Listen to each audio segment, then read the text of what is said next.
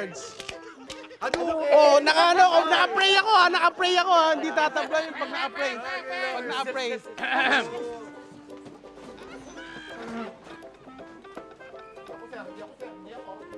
All right.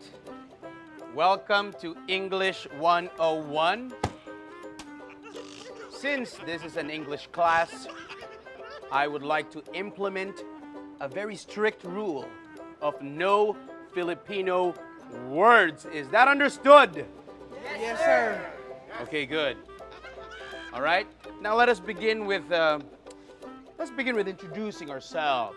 Okay. Let's start with um, you. Me, Yes, Sir. you. Uh, what is your name? my name is um, Early Seven Strike Land Never Broke.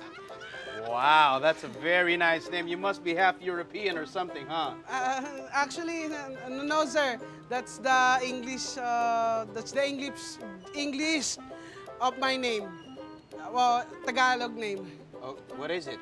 Uh, uh, my name is Agapito Ampaslupa Dimagiba Jr.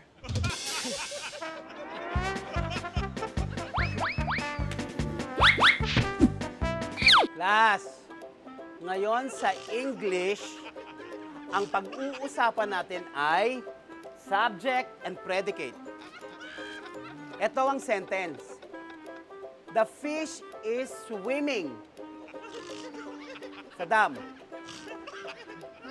what is the subject? Ah, eh... Alam ko na, sir. Alam ko na. English po. True!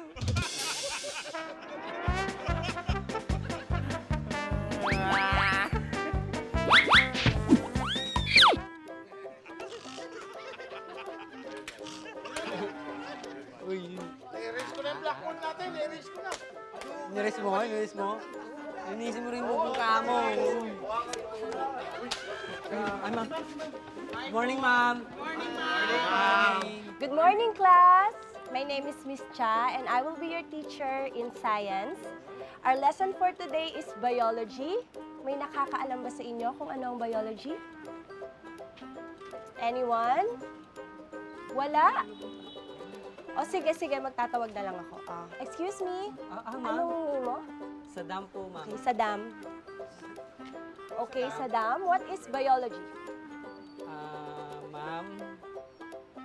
Biology is our lesson for today. Yes! Yes!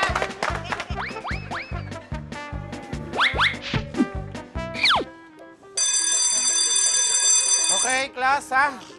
Huwag niyo kalilimutan bukas yung assignment na binigay ko sa inyo, ha? Ha? Kita-kita na lang tayo bukas, ha? So, dam, pa-erase na lang nito, ha? Bye, Okay, bye-bye. Sir! Uy, sa... Best friend! Ano na, best friend? Kumusta? Okay ka lang? Ba't mga stress na stress? Oh, yung blackboard niyo punong-puno pa. Wow. Oo nga, ang daming tinuro ni sir. Ayaw mo nun, alam mo best friend, kaya nga nandito tayo sa school para mag-aral at para maraming matutunan. 'Di ba? Kaya maging thankful ka na lang, best friend. Best friend naman. First day of school, tapos ang dami niya ituturo. Ni hindi nga siya nagpakilala sa amin eh. Grabe, gusto sabi niya, kabisaduhin daw namin yung man-made disaster. Tapos sabi meron pa siyang sinasabi na, ah,